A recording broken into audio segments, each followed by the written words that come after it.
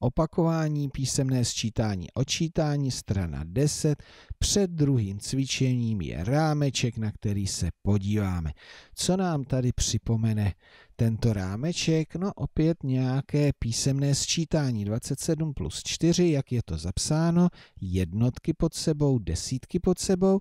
A jak začneme? Začneme od jednotek a ze spoda nahoru. 4 plus 7 rovná se 11. A pozor, 11 má dvě cifry, dvě čísla, takže zapíšeme pod jednotky jenom jednotku a desítku připíšeme k desítkám a budeme pokračovat sloupečkem desítek. 1 plus 2 zase ze spoda nahoru rovná se 3. 27 plus 4 rovná se 31. Připomněli jsme si písemné sčítání s přechodem desítky a podíváme se do druhého cvičení a vybereme si část B. Tak, jak máme počítat? Ze spoda nahoru. 9 plus 5 rovná se 14, jednotku zapíšeme pod jednotky a tady už desítky nejsou, takže desítku zapíšeme do samostatného sloupečku desítek, čili tento výsledek rovná se 14 a koukám, že to tady použijeme. Takže znova ze spoda nahoru, nejdříve jednotky. 9 plus 5 rovná se 14, čtyřku jednotku zapíšeme pod jednotky a jedničku nezapíšeme sem, protože tady jsou ještě desítky, takže jedničku, jednu desítku přidáme k desítkám a ze spoda nahoru. 1 plus 4 rovná se 5. Výsledek tohoto příkladu je 54. Dopočítáme 1 plus 9 rovná se 10.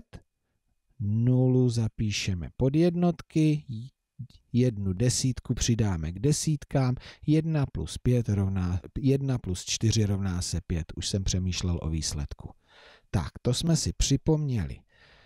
Písemné sčítání s přechodem přes desítku a vrátíme se do rámečku a podíváme se na odčítání. Takže Příklad 80 minus 7, opět jednotky pod sebou, desítky pod sebou a jak začínáme? Začínáme u jednotek, ze spoda nahoru a co budeme říkat? A kolik je? Takže ze spoda nahoru 7 a kolik je 0. Musíme vždy, když jdeme nahoru, dopočítávat k většímu číslu. 0 není větší než 7, takže to nelze. Co s tím udělám? No půjčím si jedničku, půjčím si desítku. Takže potom to bude vypadat jak? 7 a kolik je 10. Takže to už jsou 3, 3 zapíši. Pod jednotky nezapomenu, že jsem si půjčil desítku, vrátím ji k desíce a budu pokračovat sloupečkem desítek. Znovu ze spoda nahoru a kolik je? 1 a kolik je 8 a 7. Výsledek zapíši do sloupečku desítek. Takže výsledek tohoto příkladu je 73. Vrátíme se do druhého cvičení a budeme pokračovat třeba D. Takže ze spoda nahoru odčítání. Tady je mínus, takže ze spoda nahoru 6 a kolik je 3? Hm, tak to asi nelze. Protože když si udělám takovou číselnou osu, tady budu mít šestku, tady mám nulu, kde mám trojku? No trojku mám pod šestkou, čili to není vyšší číslo. Já musím z té trojky udělat něco vyššího. Čili to udělám jenom za pomocí toho, že si půjčím desítku a budu dopočítávat k vyššímu číslu. Takže 6 a kolik je 13. 6 a kolik je 13 a 7 je 13. Půjčil jsem si desítku, vracím desítku a pokračuji ve sloupečku desítek. 1 a kolik je 1 a 0. Nulu dopředu nikdy nepočí, nepíšeme. Tak, pokračujeme dál. Tady vlastně tohle, to, co jsme měli v tom prvním příkladu, použijeme. Takže 6 a kolik je 3. Nelze, Půjčíme si desítku, 6 a kolik je 13 a 7.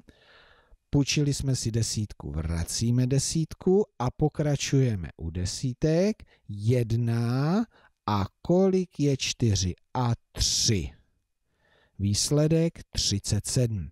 Dokončíme část D posledním příkladem. Ze spoda nahoru jednotky. 4 a kolik je 1? Jedna není vyšší číslo než 4. Musím si půjčit. Takže znova. 4 a kolik je 11? A 7 je 11.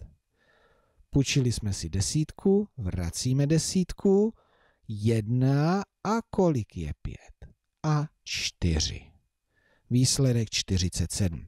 Takže ve cvičení 2 za pomocí toho úvodního rámečku jsme si připomněli písemné sčítání a očítání, ale přes desítku.